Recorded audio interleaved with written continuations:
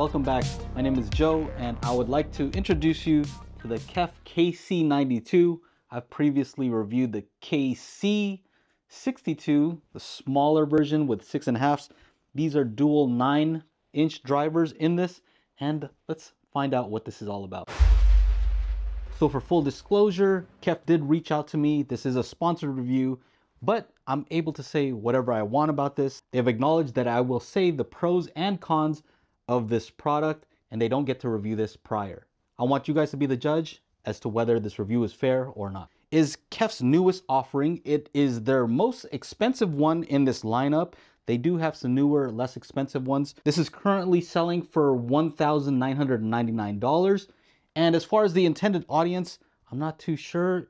Maybe two channel could be good for home theater. Let's try to dig into this and see exactly what it does and let you guys decide whether it's something that might be right for you. So first of all, I think overall the design, typical KEF fashion, it looks pretty awesome. Has a gloss finish on this particular one, similar to the SVS SB3000 that I previously owned. Just a nice gloss finish. It has the seamless cone, no dust cap to be seen. This, I guess, is kind of like a giant dust cap.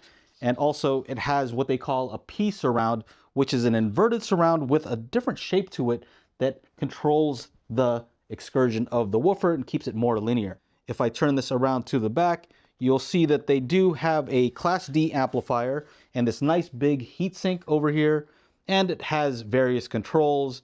I'll go over them real quick. Service, I'm not sure what the system button is, has a 12 volt trigger.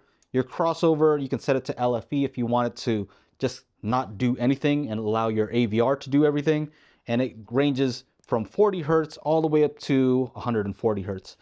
Has your volume control here, and then it has a phase adjustment switch that switches from 0 to 180 degrees, and then different EQ modes where you can choose from room, wall, corner, cabinet, and apartment mode.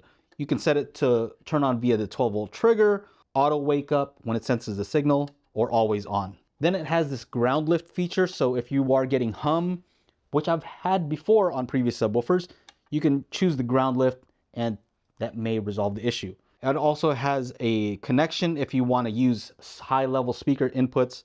It has your line input. They call it Smart Connect. So it detects whether you have one thing plugged in or two and maximizes the gain structure. So you are going to get the most output out of it. Now it also has this high pass filter. So you can daisy chain multiple together and you would use these dip switches if you're going to use one of these outputs to go into another subwoofer.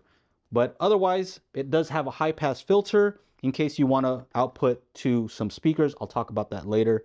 Your on and off switch and the power plug. So I've already mentioned the dual 9 inch drivers. That comes out to around a 13 inch cone surface area. So you could say that this is equivalent to maybe something like the SB3000 as far as cone surface area. It does have a thousand watts RMS, so 500 going to each driver, and they are dual opposed. So you'll see there's a driver on this side and a driver on this side. So they oppose each other, which means that when this is at full tilt, there's no cabinet shake. It doesn't walk off. It just, it's kind of weird. you see the cone moving, but the enclosure itself doesn't move. They claim a frequency response of 11 hertz to 200 hertz, which is, that's crazy and they say that this has a maximum output of 110 dB. We will go into all of those in detail and see if that's actually true. They have something called their IBX Intelligent Bass Extension Technology, and it's supposed to just kind of dynamically enhance the bass. We will also go into that in more detail. As far as uh, impressions, the first thing I would say is that I unboxed this and for a $2,000 subwoofer, I would say that they should kind of, I expected a little bit of a better experience personally. You know, it comes packaged in the typical foam that kind of breaks up and goes everywhere. They should use that nice foam. You know what I mean? A bag, all, you know, the whole experience for an expensive sub like this. I know a lot of you guys are gonna want me to compare this to other subwoofers. There are too many out there to compare them to, but I can just compare them to some that I've had previously. So SB3000, that is a less expensive subwoofer, 13 inch driver. Mine also had a nice gloss finish. And I think it's a 800 watt amplifier, if I'm not mistaken.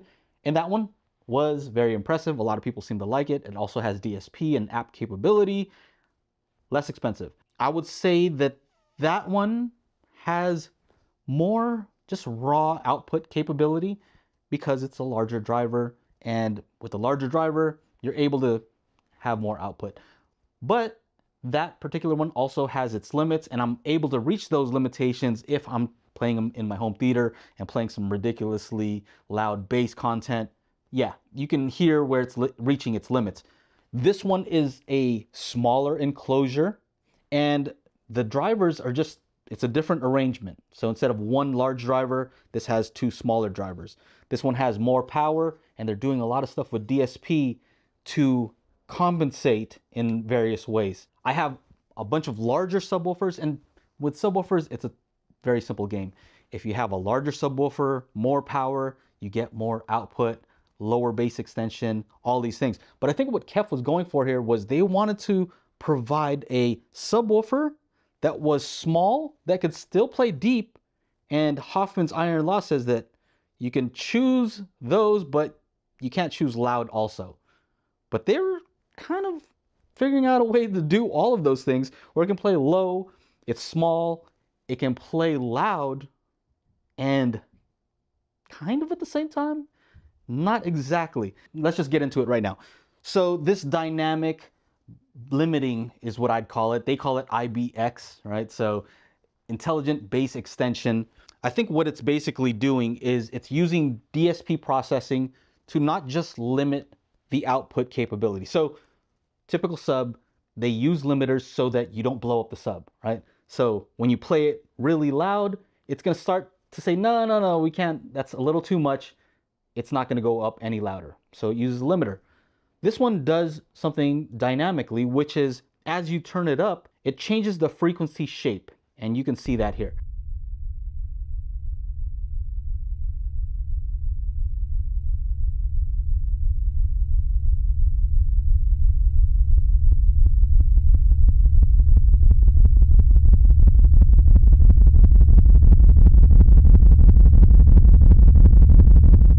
So when it's at lower volumes, it has a flatter response and it extends down further. As you turn it up, it starts limiting those lower frequencies, which are the hardest ones to reproduce. So that's one part. But then the other part is I was playing pink noise through this, and what I noticed is that it did have a limit to how loud it could get. That's what we expect, right? But if I were to play a certain sine wave, like a single tone, 20 hertz tone, it would allow it to play that tone at a much higher volume.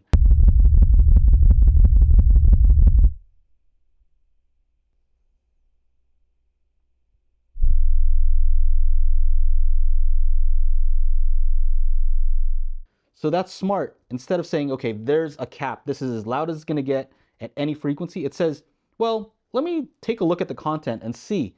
So if I'm playing a bunch of frequencies at the same time, well, that's very demanding. It has to try to do all of those equally. But if it only has to play one bass note that's a certain frequency, well, it can kind of allocate more resources, more power to that one thing. That is something that I've never seen a subwoofer do.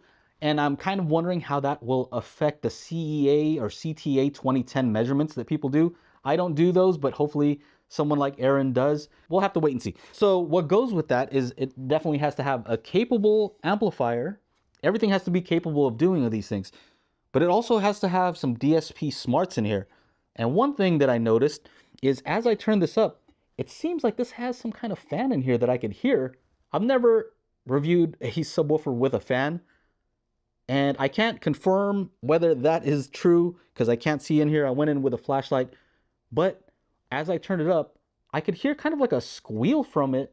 I'm pretty sure that that is something that they might want to look at because I'm pretty sure that's not something that they would intend to happen. So I'm going to start turn this up. So I'm playing a really low test signal.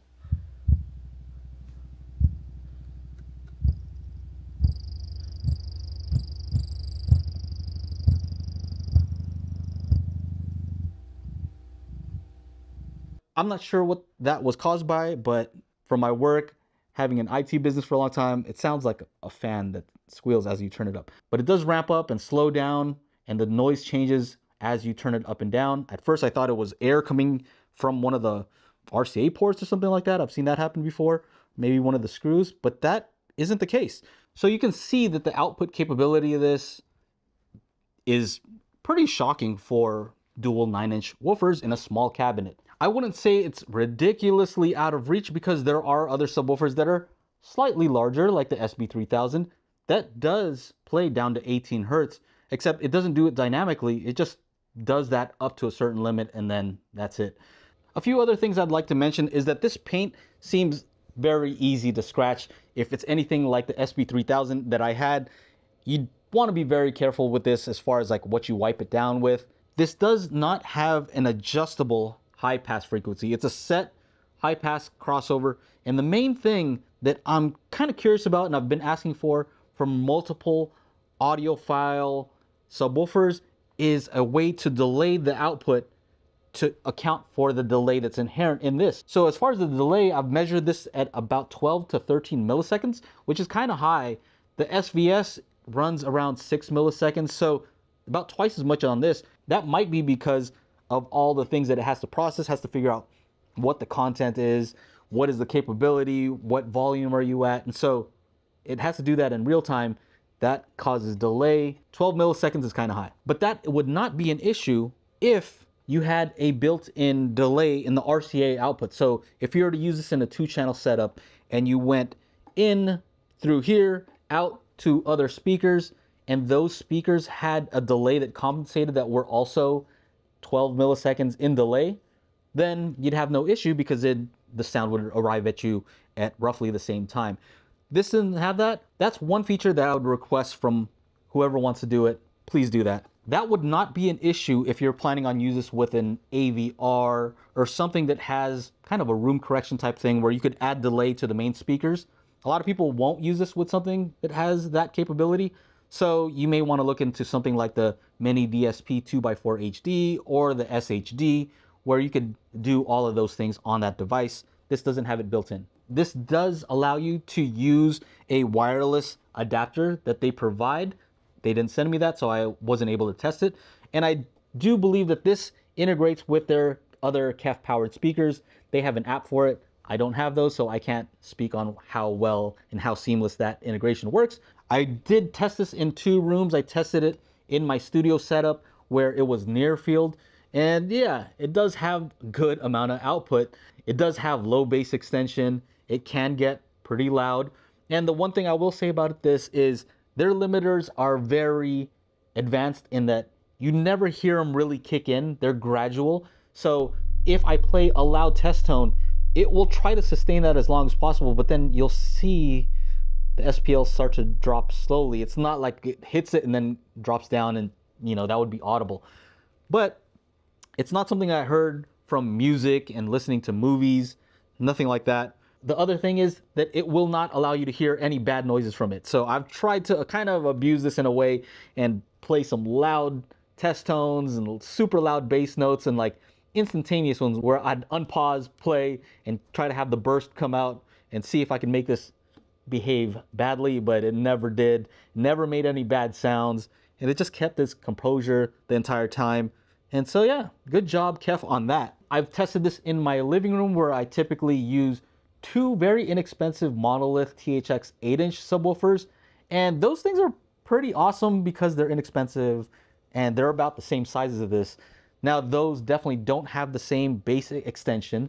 They only go down to about 24 hertz. They don't have as much output, so you'll hear when they can't handle, but they're extremely inexpensive. So I have two of them in there, and what I would say to people is, regardless of what sub you get, whether it's this, another one, definitely look to get at least two subs because room modes, you know, peaks and dips in the response, it doesn't matter how good this subwoofer is. It doesn't matter that they have different EQ for room, wall, corner, cabinet, apartment. Nothing that you can do here or with DSP can fix a dip or null in the response. That can only be fixed using multiple subs or changing the listening position or where the subs themselves are placed. So two or more, if you can afford four of these, go for it. In my living room situation, compared to the Dual 8s, because of those room modes, the dual 8s kind of filled in some of the modes and I've EQ'd them so that it's kind of not a fair comparison. But as far as output, if I had two of these, definitely it would it would annihilate those other ones that I have there. So yeah, I think it would be good for movies. I would say in a small to mid-sized room, don't expect this to replace your giant 18s and 24s and giant subwoofers. It, it, it can't do that. So pros and cons, I would say pros would be that it's small. It does kind of what they say it's going to do. It does. I, I was playing 12 hertz test tones through this. It was shaking stuff. So it was playing that. It was playing it, that particular test tone at a pretty loud volume. It can play certain frequencies loud. It just can't play all of the frequencies at the same time at a loud volume. Limitations. Hoffman's iron law still wins regardless of all this DSP processing that's going on here. But I think it's a very smart use of DSP. Yeah, very smart. Smart people over there at KEF. Uh, as far as cons, the fan noise, the price, 1999 I think is pretty up there, but it's not my money to decide. It's for you to decide whether this is something you'd like. I think this is more geared towards an audiophile, but if that's the case, I wish they would have had that delay on the RCA outputs for that audiophile who may not want to use room correction in order to delay their speakers. I feel like KEF should have kind of taken initiative and done that themselves. That's pretty much it. I like the smart things that they're doing with this. I think it's really cool. I think if they just made a larger subwoofer, you're getting more out of it, right? To make a car analogy, I don't know if it's like pressing the NOS button whenever it's enabling it to hit these loud, low frequencies from a smaller enclosure, or if it's like a turbocharger, right? If I have a larger subwoofer, it can sustain those output levels. It can play all those frequencies at a loud volume, kind of like a big old muscle car, right? You get that linear power. Whereas this is more like a four cylinder with a turbo, you know what I mean? So it has output capability, but you have to you have to be careful. You got to make sure that you're you shift gears, make sure you're in that proper range to get the maximum power, and that's what the DSP here is doing automatically. Hopefully that made sense. I was trying. I was racking my brain to try to figure out an analogy that would work. But if you guys have any questions about this, I'll be in the comment section for a while to try to answer as many as possible. Please comment if you have this and let me know what you think of it. I know a lot of people love their older KEF KF92. You guys know who you are. A lot of people like their KEF KC62. I know KEF has a fan base. They make great stuff and a lot of design and research goes into it, measurements based. So I like that about them. So I'm gonna go ahead and put this on my speaker leaderboard. The link will be here. Was that a fair review? Even though it was sponsored, you guys tell me.